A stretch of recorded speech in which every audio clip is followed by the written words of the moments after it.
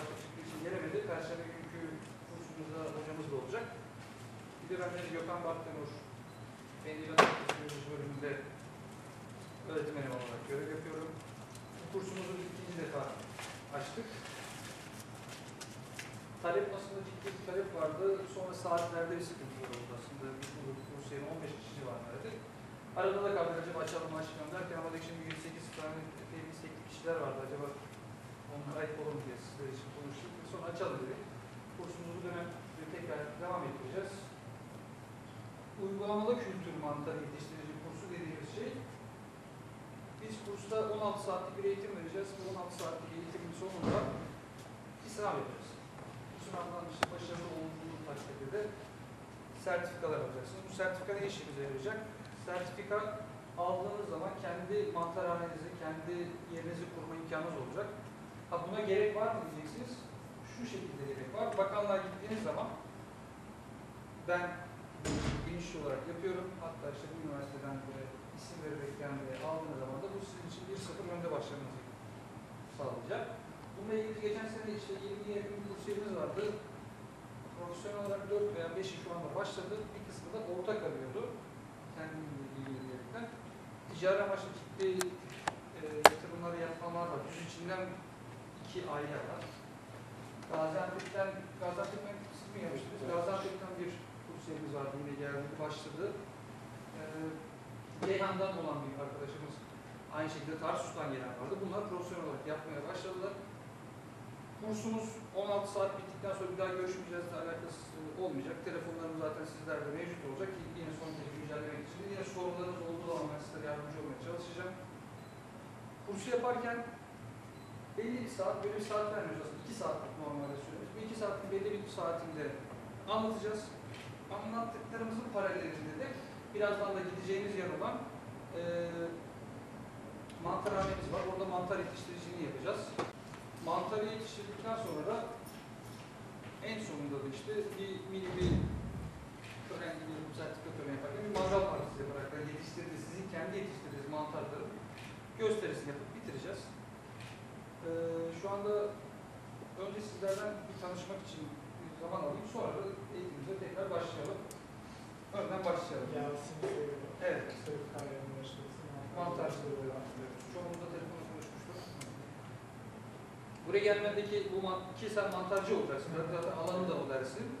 Allah izin verirse şimdi ben sertifikayı aldığımda bu yaz dönemi inşaat başlatmayı düşünüyorum. Yetiştirici yapmayı düşünüyorsun. Diplomayı alınca ödevine geçeceğim. Evet.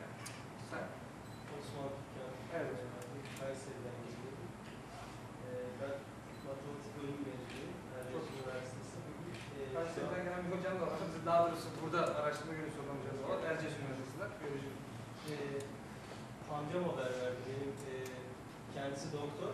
Evet. Ee, şu anda yatırım olarak e, montajcılık düşünüyor. Şu anda bir yer e, açıyor. Nerede bu amca? Ee, amcam İstanbul'da görev yapıyor. Ee, açacağımız yer Sakarya. Şöyle ben sordum. Bir tanesi doktorlardan bir doktor var. Gelmek istiyordu. Çok istiyordu. Hocam işte saatini ayarlayabilir miyiz dediler. İşte ben de 3 ile 5 arası yapabileceğimizi söyledi. Çünkü bizim de saatlerimiz ona uyuyormuş. Çünkü sonra onu da biraz kaydıracağız zaten. Sizlere tekrar konuşacağım. 1-3'e alacağız onu. Onlara uymadı mesela. Doktor da vardı. Evet, profesyonel olarak düşünenler var. Siz. Ben İhsan Pamukbaş, Evet. emekliyim. Hoş getiriyorum. Hobi çünkü biraz da ticari amaçlı. Olursa yapabiliriz. Muzaffer Ünlü. Gaziantep'teyim. Evet. İyi bir Gaziantep'te kursiyerimiz oldu. Hasan mesleğim yöneticicilik. Evet. Nereden duydunuz bunu? Bu bizim ilanımızı nereden duydunuz? Nasıl ulaştınız? İnternetten ulaşma sebebim de e, iş yerinde zaten köyde bu mantarlar vardı. İstiridye mantarı. Evet. Kalka ağaçları Evet. oluyor. Doğru. Bunu da ben e, hobi olarak ağacın kökünü oydum, kestim, eve getirdim. Tamam. içerisine koydum. Evet. İki üç yıl orada yedik. Evet. Mesela gelen misafirler dedi, bu ne dedi, bunun adı ne dedi. Ben mantar dedim. Ya adı yok dedi. Federatus olmaklarında da Evet. kalmadı. Sonra ben o zaman internete baktım. Araştırma derken e, sizin İlanı. şeyi gördük, Evet. ilanı. Ama geçen yıl şeye geç kaldığım için Evet. Geçen yıl gerçekten çok ilkti belki de onun da bir heyecanı vardı. Çok aşırı bir talep vardı. Bu yılda işte belki bizler de kaynaklanıyor bir ulaşımla ilgili çoğu yere haber de vermedik ama bir çevre illerden yeni bir şekilde ulaşılmış onu görüyorum. Siz Tuncay Tunç? Ee, buraya yeni üç aydır buraya. Evet. Ee, orada esnaflık yapıyorum. Elazığ'da. Evet. Neresinde? Merkez. Merkezin neresinde? Abdullah Paşa Mahallesi var. Yani, Ben Tunceli'yim ama Elazığ'ı çok iyi bilirim. Tamam. Elazığ'da ailem çok var orada. Tamam. ee, Abdullah Paşa'da. Ben orada e, geldik buraya. Şimdi burada kendime işte şey var. İş var. İş kolu.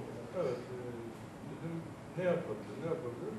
İşte böyle e, bir fırsat geldi. Böyle bunun şey olursa e, hayatıma uygulamaya başlayabilirim. Yani.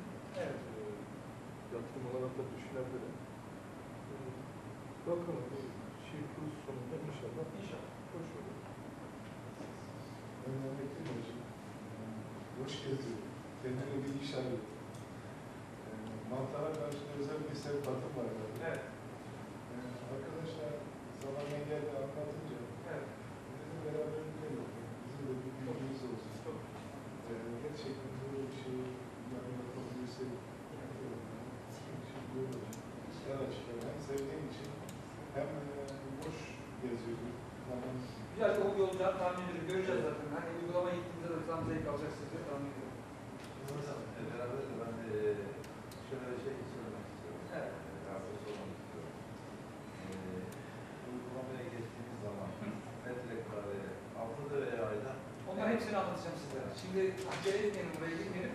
Tek tek kaç metrekaredir, ne kadar ürün alırız, bir mantarın bize maliyeti, ne kadar olacak, bu mantar dediğimiz şey nasıl bir yerde yetişiyor, evet, ee, maliyeti ne olacak, onun sonucunda biz ne kadar para kazanabiliriz, bunu tek tek anlatacağım size. ve pazarlık nasıl olur? Pazarın nasıl olacak, bunları da tek tek anlatacağım size. Hocamla beraber. Yani çünkü e, buna tam e, büyük bir yerde de tam teşekkür başlayacaklardır. Biz de size tam teşekkürlü bir eğitim vermek için elimizden geleni yapacağız. İsmail'den Beraberciyim Osmaniye'de. Ee, Size nereden ulaştım? İnternet sitesinde gördüm. Ee, Bunu var sözünü kesin. Niye soruyoruz? Ona göre bir sonraki kurslar açarken ona göre dikkate alalım diyecektim. Çok güzel. gazetenin internet sitesinde haberini gördüm. Öyle Evet. gördüm üniversitenin. Evet. Ee, ilgimi çekti. Biraz mantarı tanımak görmek istedim. Yani semineri düzenli takip edip ne olduğunu bilmek istedim. Daha sonra yatırım amaçlı düşünelim. Mustafa Kaya, Evet. eee, çiftçi hocam.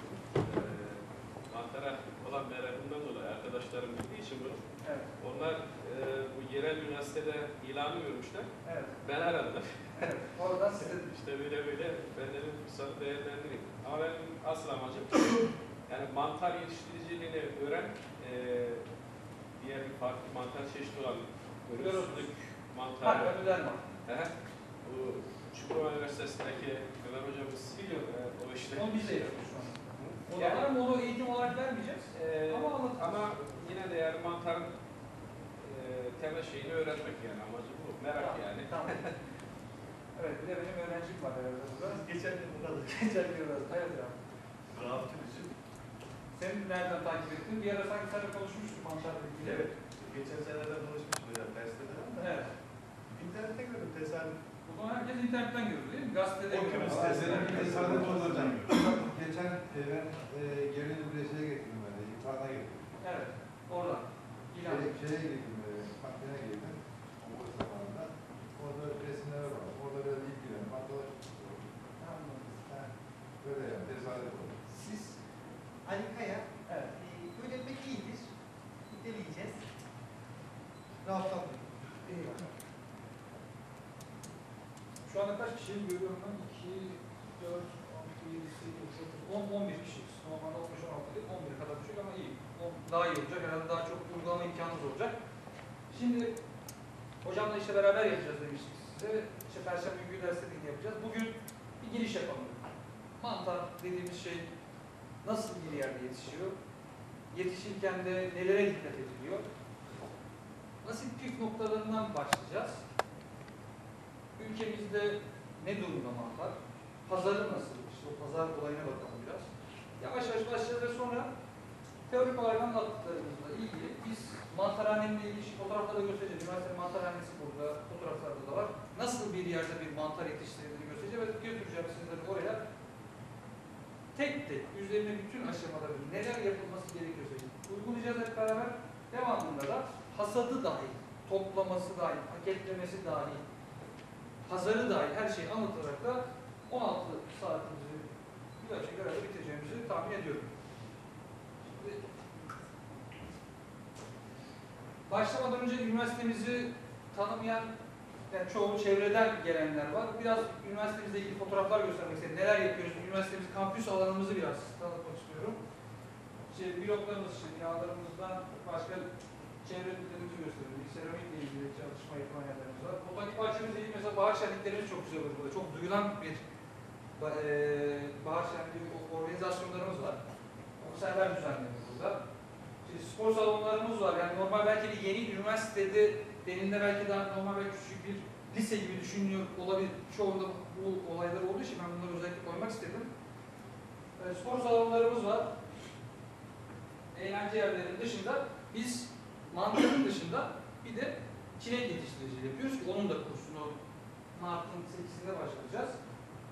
Tabii biz bu mantar kursu, işte mantar yetiştirici, çilek yetiştiriciliği niye yapıyoruz diye düşün, düşünülebilir. Hatta bazıları diyor ki ya burada ziraat fakültesi mi kurulacak veya işte niye böyle bir şey yapmaya gerek duyuyorsunuz dediklerinde biz bu yola baş koyarken şunu düşündük. Ben Osmaniye 3 yıldır buradayım. Çukurova Üniversitesi'nde devam ediyorum doktorama. Adana ile yaklaşık 70-80 kilometre en fazla 100 kilometre bir mesafe olmasına rağmen yetiştiricilik anlamında bir de ziraat mühendisi olarak da çok rahat söyleyebiliyorum. Çok sığ kalmış bir memleketiz. Ne anlamda ki bak yetiştiriciliği olan Osmaniyeli'siniz. Güzel. Burada belli türlere yönelik yetiştiricilikler herhalde ön planda. Bunlardan birisi olmazsa olmazımız zaten Türkiye'nin en önemli türlerinden olan yer fıstığı var. Yanında kısmen de yeni yeni bu Osmanlı için konuştuğumuzda zeytin var. Onun dışında da çok küçük arazilerde işte pamuk, işte bazı ilçelerde karpuz, turp yetiştiriciliği yapılıyor. Biz buraya alternatif neler yapabiliriz diye düşündük. Birincisi mantarı düşündük.